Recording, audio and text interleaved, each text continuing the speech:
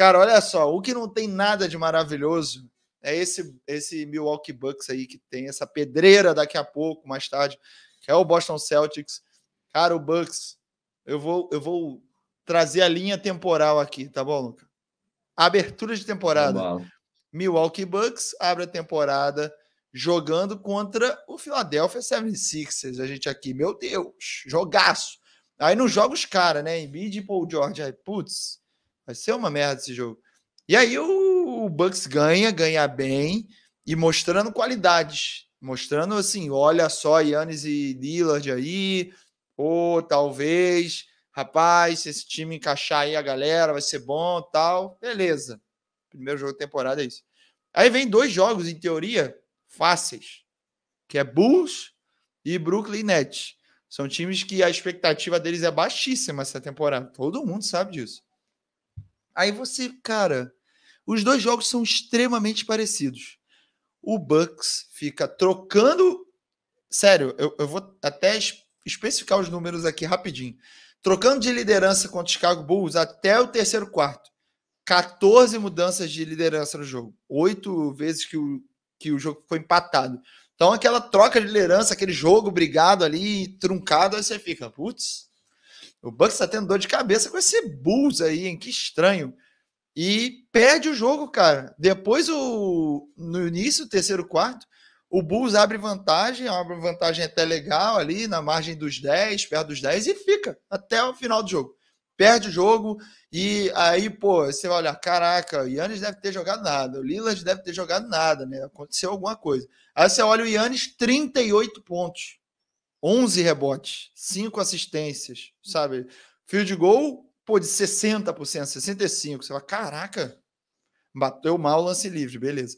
Mas, tipo assim, pô, o cara fez quase 40 pontos, sabe? Com um double-double brabão. Ah, o Lila jogou mal, 28 pontos. Chutou mal, bola de 3, 25%. Mas ainda assim, de quadra, matou metade dos arremessos. Então, pô, cara, para perder pro Bulls com uma, uma derrota considerável, aí vem jogar contra o Nets. A mesma coisa. O cara fica trocando posse, trocando liderança com o Bucks o jogo inteiro, o jogo inteiro, até o final do terceiro quarto, trocando liderança. 13 vezes que trocaram liderança, sete vezes que o jogo foi empatado. Chega no último quarto, o, o Brooklyn Nets abre vantagem e aí já era. Aí fica até o final, ganha o jogo de novo. E aí sim teve o. Você olha lá os números, foi abaixo um pouco, mas também que chegou um momento que via que não ia ganhar mais, os caras saíram de quadro. Nem jogaram o, o tempo que podia jogar. Então o Yannis teve 22 pontos, o Lillard também teve nessa faixa aí de pontos. Então, assim, a dupla Darvin Hen e Doc Rivers são os culpados desse, desse começo de jogo que provavelmente vai ter a terceira derrota seguida, né? Que pega o Celtics hoje. É preocupante, hein? A gente achando que ia ser um começo de temporada é, interessante, né, Luca? E já tá. Já mudou tudo. Rapidinho já mudou tudo. Galera voltando no nosso corte lá para falar que perdeu do Bulls, falar que perdeu do Nets e tal, porque a gente falou no primeiro jogo deles que eles apareceram com, com coisas positivas e tal. Preocupante, hein? Milwaukee Bucks é um time bem canalha, né, cara? Vamos falar a verdade aqui que jogou a gente no buraco bonito. Eu cheguei aqui, é... enchi a boca para falar do Milwaukee Bucks, pô, o time melhorou, jogou bem contra os Sixers. Até comentei que o, o Bucks teria perdido no, no, ano passado, teria perdido um jogo igual esse contra os Sixers, né? Mesmo com desfalques e tudo, seria um jogo que teria passado sufoco na temporada passada. E aí o Bucks vem na sequência, perde para Bulls e Nets Cara, do, dois dos times mais, mais frágeis desse leste. É. Times que a gente não espera que brigue lá em cima, que brigue, sabe, por, por playoff, nem nada disso. Eu acho que, sim, muito da, da culpa desse, desse, dessas derrotas né, vão na conta do Doc Rivers, sim, e tudo, porque ele não consegue montar uma defesa que seja funcional nesse time. Tá aí a dupla, né? A Essa dupla. imagem, o, o nosso querido Todaro também, muito amigo. Um olhando cara, pro outro. Darwin Rey, Doc Rivers. É, falando, e agora? O que eu, que faço? eu faço? Aqui, ó, os dois aqui, o que eu faço? O que, que eu faço agora? Eu... E, é, e é bem isso, né, cara? Porque Você, você destacou bem esses números de Antetokounmpo, de Damian Lillard, né? Os caras até pontuaram e tudo, mas é. o que a gente viu que foi a, a principal deficiência do Bucks na última temporada, marcação no perímetro, né, cara? Marcar armador adversário e tudo, as estrelas. E aí você vai ver os números dos adversários também no jogo, pô, Kobe White Zach La... e Josh Gidey, para falar, a dupla de armadores do Bulls. Kobe White, 35 pontos, Josh Gidey, 17, sabe? Caraca. Então, assim, mais uma vez você está cedendo muito, muito ponto no perímetro. O Bulls matou 21 bolas de três, oh, ou seja, tomar, muita bola de três. E tomar 17 pontos de Josh em 2024 é, é, é, é, tá de parabéns, realmente. Tá de parabéns. É brincadeira, né? E ainda toma 25 do Zé Lavine, que tudo bem, é craque, mas é. convenhamos, né? O Zé Lavine não jogava basquete já há um belo de um tempo. É, e aí, é. contra o Brooklyn Nets, cara, de novo, toma 16 bolas de 3. Dan Schroeder, 29 pontos, oh, 6 assistências. Ken Thomas, né, o nosso chuta-chuta, peladeiro, 32 peladeiro. pontos.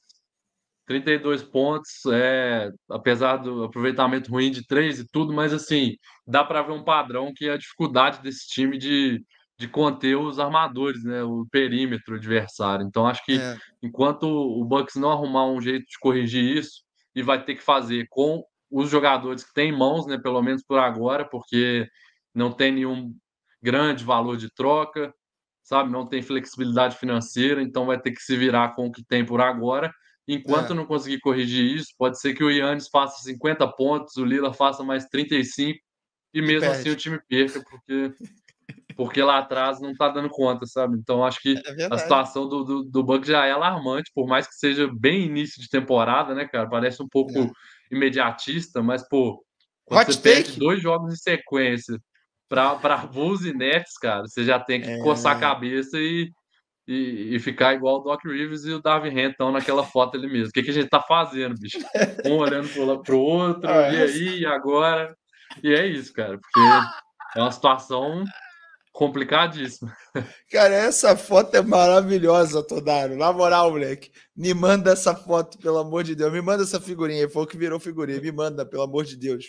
Que é muito boa, cara. Olha a cara desses dois, pelo amor de Deus. É, o, o Patrick falou até aqui, ó. Até o final da temporada o Yannis pede troca. Eu fui até olhar o contrato dele. O contrato dele, putz, é um, um, caminhão de dinheiro, merecidamente, um caminhão de dinheiro. 54 milhões para a próxima temporada, 58 e 62, mano. É um negócio assim astronômico que o Yannis vai ganhar nesse contrato. Haja aí. jogador para bater salário, né? Para trocar pelo Yannis. Vai ter que botar Haja o time jogador. inteiro. Haja jogador. Tem vaga no gigante, mas o gigante está voando. Então, não quero o Yannis, não. Fica, vai pro teu canto lá, Yannis. É, mas, cara, o Yannis também não tem muito esse perfil de pedir troca, né? Essa é a verdade. Mas ele se é. fudeu, é. porque todo respeito. Ele aí, joga mas... verde, né? Igual no, no é... início da temporada ele falou: ah, basquete nunca se sabe, né? Se a gente não ganha o título agora, os caras podem me trocar na off-season. Então, assim, ele é. jogou um verde, sabe? E Falando, ele já falou ó... que ele não faz questão de ser o principal jogador, que ele não vê não, não tem essa parada, que ele poderia entrar para ajudar um elenco, sei que lá. O Yannis é. Seja, eu eu, é pessoalmente, perfil, sou fã. Perfil ideal para jogar do lado de Luca Doncic, né? Seja bem-vindo a Dallas, Giannis. Ô, louco! Imagina essa dupla. Jesus Rapaz. amado, quero nem imaginar. Deixa o Lebron aposentar primeiro. Vambora! Agora, rapaziada, antes, dá o like, se inscreve no canal, ativa o sininho. Se você não fez nada disso ainda, todo dia, segunda a sexta-feira, a gente está aqui uma hora da tarde, beleza?